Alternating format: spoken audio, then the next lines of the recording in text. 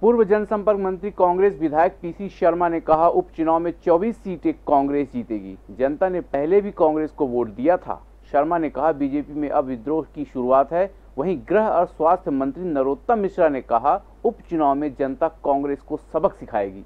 स्वास्थ्य एवं गृह मंत्री डॉक्टर नरोत्तम मिश्रा ने उपचुनाव की तैयारियों को लेकर कहा, उपचुनाव की तैयारियाँ जनता कर रही है। पार्टी काम करती है, चुनाव को लेकर वो सोचे जो झूठ बोलकर सत्ता में आए थे, जिन्होंने किसानों का दो लाख का कर्ज माफ़ नहीं किया।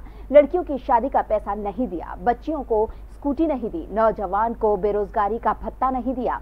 वो लोग सोचे जनता हिसाब चुकाएगी। उपचुनाव के लेके तैयारी भारतीय जनता पार्टी को थोड़ी करना है। भारतीय जनता पार्टी तो जो काम करती है, जनता तैयारी करती है उसके लिए।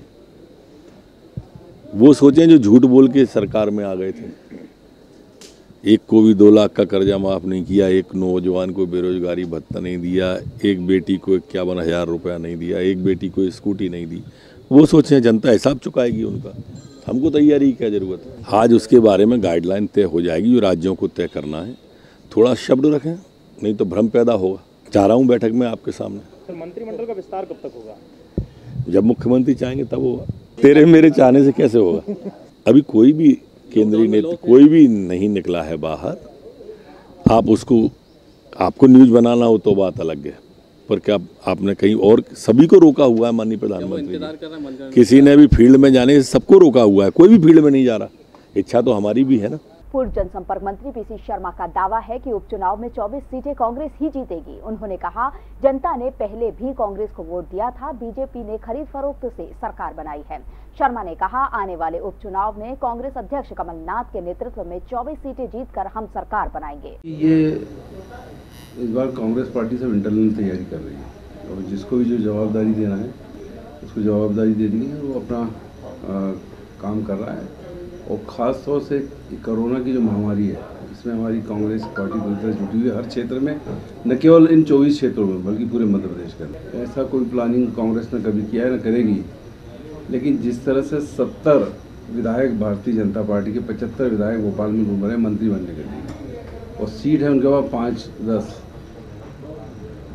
और सीनियर लीडर गोपाल भार्गव जी, जो नेता प्रतिपक्ष थे, ये बाकी सब नेता उनके पीछे थे। उनको जिस तरह से बाहर कर दिया गया है तो मैं सोचता हूँ कि जैसे ही ये मंत्रिमंडल गठन होगा कि भगदड़ अपने आप बचेगी।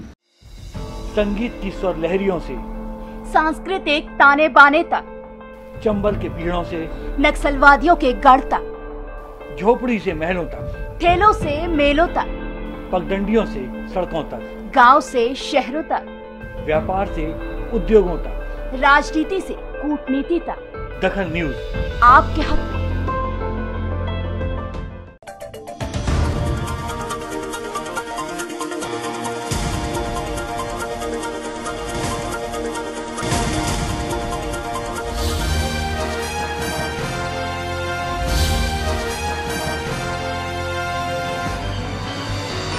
आप देख रहे हैं दखल न्यूज़।